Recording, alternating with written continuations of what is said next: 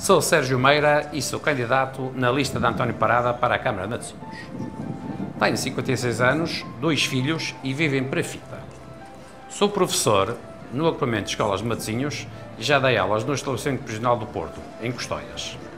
Estou neste movimento desde 2017 e participei ativamente na variação da Câmara Municipal de Matosinhos. Acredito que os matosinhenses irão confiar no nosso projeto, sim,